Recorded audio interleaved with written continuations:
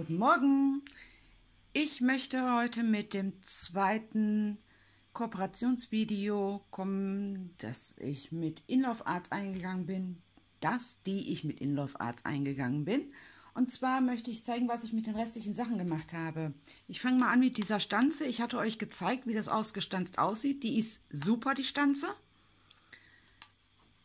Die stanzt sehr gut aus. Da bleibt nichts drin hängen. Ja, und ich finde die richtig, richtig toll. So, das ist die Stanze. Ich habe ein Kärtchen gemacht und zwar dieses hier, ein einfaches Glückwunschkärtchen. Und hier drin ist dann der Umschlag, den habe ich einfach hier reingeklebt. Da kann, man kann da halt Geld reintun oder ein Zettel mit ein paar liebe Zeilen oder so. Ne? Also das hier oben habe ich nicht angeklebt. Man kann es auch runterklappen, wenn man den möchte. Ich fand es aber jetzt so ganz hübsch. Und ja, das habe ich halt mit der Stanze gemacht. So, dann habe ich mit diesem Stempel hier gearbeitet und auch mit diesem.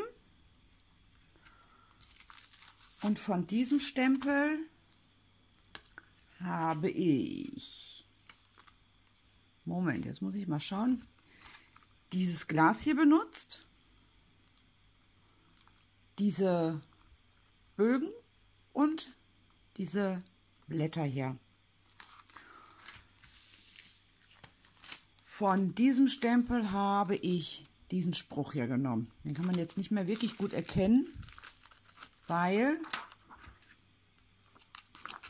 die Stays on Farbe nicht wirklich abgehen will. So, da kann man es vielleicht ein bisschen erkennen. Da, da ist er. Ja, und ich zeige euch jetzt eben das Kärtchen, was damit entstanden ist. Und zwar ist es dieses hier. Von außen sieht die so aus und von innen schlicht so, damit man hier auch noch was äh, reinschreiben kann. Meine Güte, ich habe echt einen Sprechfehler. Ja, heute mal kein Gesichtsvideo. Das kommt vielleicht später, in dem ich auch etwas erzählen wollte. Ich weiß nicht, ob ich dazu noch heute komme. Auf jeden Fall wollte ich noch nur so Video machen. So, das wäre das. Und ich habe noch eine dritte Karte gemacht. Dazu habe ich wieder diesen Stempel hier benutzt und dieses ganze Stempelset mit dem Mädchen. Entstanden ist daraus eine Geburtstagskarte. Und zwar die hier. Hier habe ich die Häuser einfach zusammengestempelt, davor den Baum gemacht. Das Mädchen habe ich extra aus, äh, gestempelt und ausgeschnitten, damit ich diesen 3D-Effekt hier machen konnte.